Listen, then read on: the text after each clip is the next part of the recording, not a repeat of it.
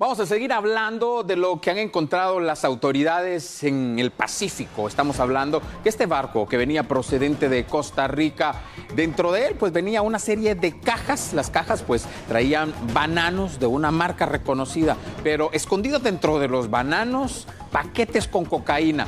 Ya las autoridades tienen un dato, han hecho todo el seguimiento, tienen pues ya toda la información y nos dan a conocer pues los distintos datos, la información y por supuesto el panorama de lo que se han encontrado las autoridades.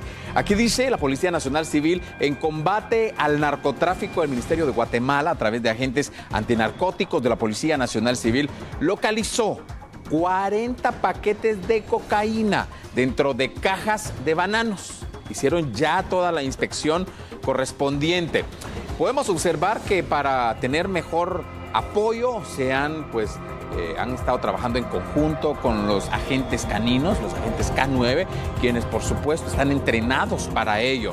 Lo incautado ya han hecho un, conteo, es valorado en aproximadamente 4 millones 109 mil 670 quetzales. Esto es lo incautado en las últimas horas. Ya han contabilizado, estamos hablando que según la experiencia, la calidad de la cocaína que venía, la pureza de la misma y por supuesto eh, pues todo lo que aquí está verificándose. Tenemos aquí las evidencias, la el, el, conteo que están realizando, cada uno de los paquetes y repetimos la cantidad. Esto, lo incautado está valorado aproximadamente en 4 millones 109 mil 670 quetzales. Tenemos estas imágenes en el momento justo donde estaban realizándose las inspecciones, el agente canino pues verificando todo lo que estaba sucediendo.